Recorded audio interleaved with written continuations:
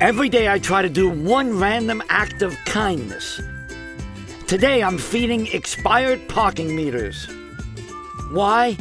Because parking tickets suck, and so does paying too much for a car. Here's how I've got your back on that. Get a new 2014 Camry SE special lease for 180 a month. That's just $6 a day for 36 months.